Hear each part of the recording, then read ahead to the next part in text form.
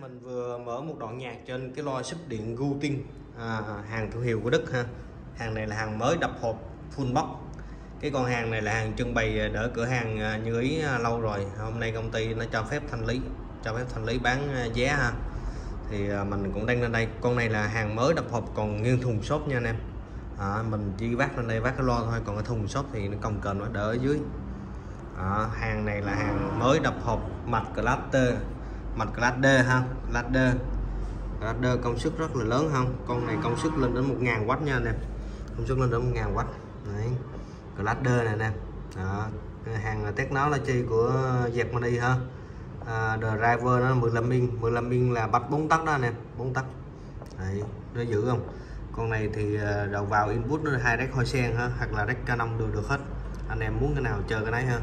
Mình đang cắm cái rec uh, à, hoa sen này hoa sen là nhạc từ ờ, từ cái ờ, máy tính xuống ha. Nhạc từ máy tính xuống. Mình sẽ mở nhạc mình test cho anh em nghe ha. Nghe nó đánh sức cỡ nào. Đó, bây giờ mình sẽ rút cái rô full ra. Đó, mình mở sub thôi ha.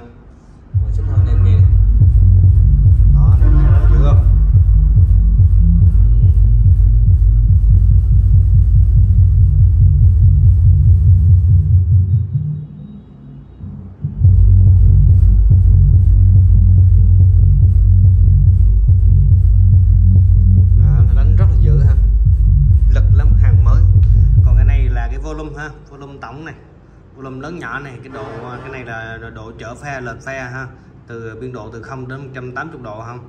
Còn cái này là tần số cái lô kết ờ, uh, low pass filter này anh em là kết từ tần số 18 Hz 18 Hz đến ờ, 200 Hz ha.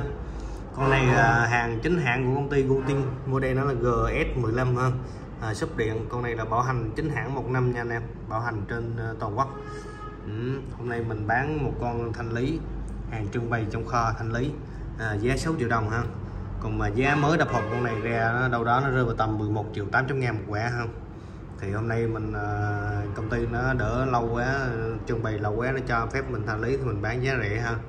À, mình có một quẻ mình bán duy nhất à, uh, 6 triệu đồng ha. Chất lượng lắm anh em chất lắm.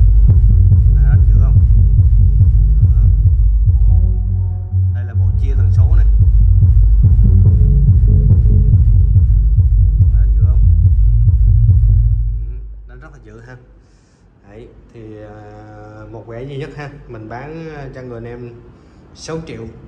Và con này kích thước nó là vuông nha anh em kích thước vuông. 48 phân vuông mình sẽ đo luôn. Đo thực tế cho anh em biết được cái kích thước nhỏ gọn cỡ nào không.